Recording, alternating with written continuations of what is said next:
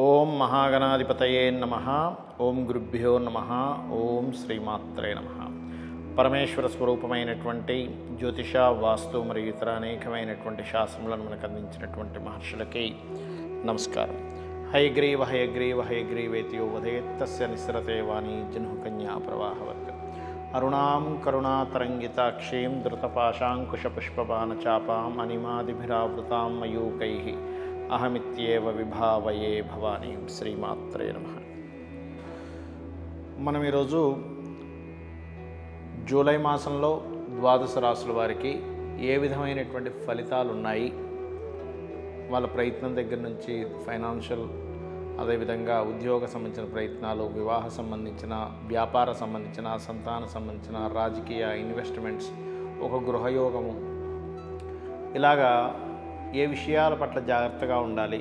ఇలా అనేకమైనటువంటి అంశాలని మనం ఇప్పుడు తెలుసుకోబోతున్నాము. అయితే ఈ చెప్పుకోబోయేటువంటి అంశాలు ఏవైతే ఉన్నాయో చెప్తుంది నేనైనప్పటికీ కూడా చెప్పేస్తుంది సాక్షాత్ లలిత అమ్మవారిగా భావిస్తూ ప్రారంభిద్దాం. అయితే ఇక్కడ ముందుగా గ్రహస్థితి అనేటువంటిది చూడాలి. గ్రహస్థితి ఏ విధంగా ఉంది అని చెప్పి చూసినట్లయితే మేషరాశిలో రాహువు కుజుడు ఉన్నారు. వృషభంలో శుక్ర బుధుల యొక్క సంచారం జరుగుతుంది. రెండో తేదీ నుంచి ఆ యొక్క బుధుడు మిథునంలోకి మారుతున్నాడు ఆ యొక్క మిథునంలోకి మారుతూ మిథునంలో ఉన్నటువంటి రవిని కలుస్తూ ఆ రవి బుధులు ఇద్దరు కూడా పదిహేడో తేదీ కర్కాటకంలోకి మారుతున్నారు. మరియు మిథునంలో కర్కా మిథునంలో ఉన్నటువంటి రవి పదిహేడో తేదీ నుంచి కర్కాటకంలోకి తులారాశిలో కేతువు. అదేవిధంగా కుంభంలో శని యొక్క సంచారము మీనరాశిలో గురువు యొక్క సంచారం జరుగుతుంది. ఈ యొక్క గ్రహస్థితిని అనుసరించి ద్వాదశ రాసుల వారికి ఏ విధంగా ఉంది అనేటువంటి విషయం మనం తెలుసుకుందాం. ధనస్సు రాశి. ధనుర్రాశి వారికి కనుక చూసుకున్నట్లయితే రాశినాథుడు చతుర్థ భావంలో ఉన్నాడు. సో ఎప్పుడైతే చతుర్థ భావంలో ఉంటాడో కొంత కంఫర్ట్ లెవెల్స్ అంటే నేను కొంత సెటిల్ అయ్యాననేటువంటి భావన ఇస్తూ ఉంటాడు. కాకపోతే దాని పక్కనే కుజరాహువులు ఉన్నారనేటువంటి విషయం మర్చి మనం మర్చిపోకూడదు. అంటే ముందుకు వెళ్దామంటూ ఉంటే ఎంతో ప్రయత్నం చేసి ముందుకు వెళ్దామంటూ ఉంటే ఏదో ఆటంకాలు వస్తున్నాయని మళ్ళీ వెనక్కి తిరిగి రావడం కానీ గతంలో చేసిన బిజినెస్లో చేయడం కానీ లేకపోతే గతంలో అనుకున్న ప్లానింగ్ పరంగానే ఏదైనా గృహం కానీ వాహనం కానీ లేకపోతే ఒక ఆఫీస్ కానీ ఎస్టాబ్లిష్ చేయడం అనేటువంటిది స్పష్టంగా కనిపిస్తుంది. కాకపోతే మీకు రావాల్సిన ధనం వస్తుంది. అందులో ఎటువంటి సందేహం లేదు. కాకపోతే కొంచెం లేట్గాను స్లోగాను అవతల ఇచ్చేటువంటి వ్యక్తులు కొంచెం కొంచెం ఇవ్వడానికి ఇష్టపడుతూ ఉంటారు. వాళ్ళ పరిస్థితులు కూడా అలా ఉంటాయి. అలాగే ఈ యొక్క మాసంలో ముఖ్యంగా మీకు గృహము వాహనము ఏదైనా కొత్తగా చదువుకుందాం అనుకుంటే విద్యా విషయంలోని ఆఫీస్ లాంటివి ఏదైనా ఆఫీస్ ప్రమిసెస్ తీసుకునేటువంటి విషయాల్లో చాలా అనుకూలంగా ఉందని చెప్పి చెప్పుకోవచ్చు. కాకపోతే కొంత గర్భవతులు జాగ్రత్తగా ఉండాలి రాజకీయ నాయకులు మరింత జాగ్రత్తగా ఉండాలి. అదేవిధంగా చూసుకున్నట్లయితే మీకు రుణాల విషయంలో మాత్రం లోన్స్ కోసం ట్రై చేసేటువంటి వారికి చాలా బాగుంటుంది అలా ఎటువంటి సందేహం లేదు. అదేవిధంగా ప్రధానంగా ఏంటంటే ఇక్కడ ఏదైనా ఒక సంబంధం కుదురు కుదుర్చుకునేటువంటి విషయంలో మీ యొక్క జీవిత భాగస్వామి కూడా ఏదైనా ఉద్యోగంలో ఉండేటువంటి పర్సనే రావడం జరుగుతుంది. కాకపోతే వాళ్ళ అకౌంట్ సెక్షన్ అకౌంట్ రిలేటెడ్ వాటిల్లో కానీ లేదా ఏదైనా మీరు ఏదైనా టెంపుల్కి లేనట్లయితే ఏదైనా సూపర్ మార్కెట్కి అలా వెళ్ళడం ద్వారా ఎవరో పరిచయం తద్వారా మీకు సంబంధాలు వచ్చేటువంటి ఆస్కారం అధికంగా కనిపిస్తుంది. పూర్వీకుల ఆస్తులకు సంబంధించిన విషయంలో కొన్ని కొన్ని గతంలో ఉన్న చిన్న చిన్న మిస్టేక్స్ కావచ్చు డిస్టర్బెన్సెస్ కావచ్చు అవన్నీ కొంత తొలగేటువంటి ఆస్కారం కనిపిస్తుంది. మరియు వీటితో పాటు మరొక విషయం ఏంటంటే ఇక్కడ గమనించినట్లయితే ఈ యొక్క భాగ్య దశమాధిపతులు గమనించినట్లయితే భాగ్యాధిపతి ఏడో స్థానంలో ఉండడం ఎనిమిదిలోకి రావడం అనేటువంటి జరగబోతుంది. అలాగే దశమాధిపతి అయినటువంటి బుధుని యొక్క స్థితి కనుక చూసుకున్నట్లయితే బుధుడు గురువు ఈ ఈ రెండు గ్రహాలు ముఖ్యంగా మీకు ఏంటంటే మీ కంఫర్ట్కు తగ్గట్టుగా మీకు ఉద్యోగ అవకాశాన్ని ఇప్పించనున్నాయి కాబట్టి మీరు ప్రయత్నం చేయండి. ఖచ్చితంగా ఆ- యొక్క గ్రహ అనుగ్రహం అనేటువంటిది మీకు ఉంది ముఖ్యంగా మీ యొక్క వాగ్దాటి ఏదైతే ఉంటుందో వాగ్దాటికి మెచ్చుకొని మీకు ఉద్యోగాలు వస్తాయి ఈ మాసంలో ప్రత్యేకంగా. ఇక మీరు చేయవలసినటువంటి దేవతారాధన కుజరాహు గ్రహాల దగ్గర దీపారాధన చేయండి. మరియు ముఖ్యంగా దక్షిణామూర్తి యొక్క ఆరాధన చేయండి.